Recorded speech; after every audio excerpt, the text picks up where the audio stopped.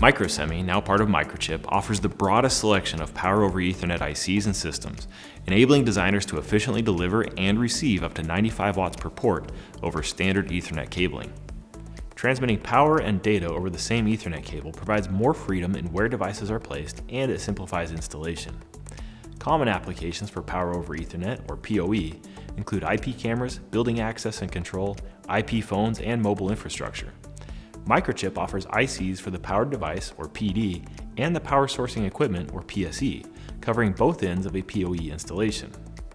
Microchip PD ICs have integrated features to simplify implementation, including automatic detection and classification as well as inrush current limiting.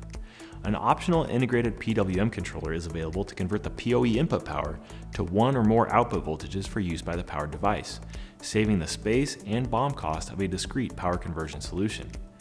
PDICs are available that can receive up to 51 watts based on IEEE 802.3 AT or up to 95 watts based on the related Power over HDBaseT standard, or POH.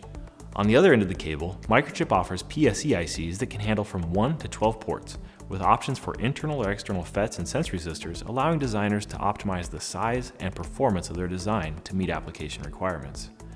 PSE ICs can source up to 90 watts per port based on IEEE 802.3 BT or 95 watts per port for POH connections. Microchip's system solutions leverage these ICs and provide designers with a complete solution ready for deployment.